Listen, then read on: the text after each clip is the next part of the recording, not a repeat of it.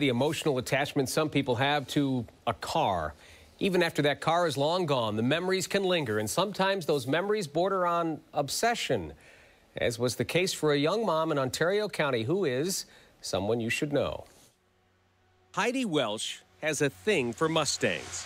One Mustang in particular. What are your strongest memories of that car from when you were young? Dreaming to drive it. Sitting in pretending that I was just the coolest girl in the world driving it with the T-tops off. It was her great uncle's car, but Heidi's parents would store it for him, and she would sit in it and dream. So one day your great uncle, uh, Bob, Yep. sells the car. Yes. Ah, uh, yeah. He always told me it didn't. It had too much power for me, and that it was too much. I would never be able to drive it, and I always wanted to prove him wrong. And you never got that chance. no. That was 17 years ago. Now, as a mother of three on a tight budget, even if she could find that old car, buying it would be out of the question. And after all, it's just a car. A puke green V8, she says. Just like the one in this Craigslist ad, an ad Heidi's boyfriend found while surfing on his iPad a few months ago. He flipped it around, and my heart dropped. It was the car. It was Uncle Bob's Mustang.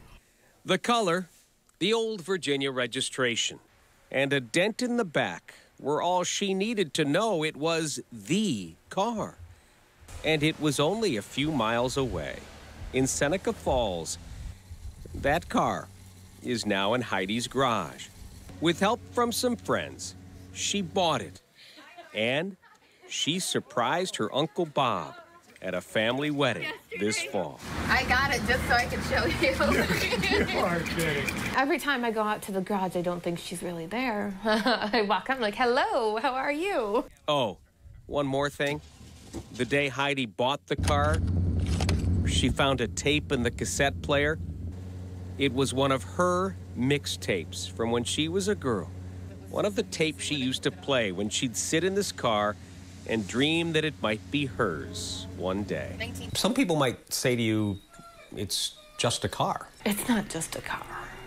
It's a dream that I've had since I was little. So, And it's come true. yeah. it's crazy. You know, I loved Heidi's story, if only for her refusal to give up on this dream.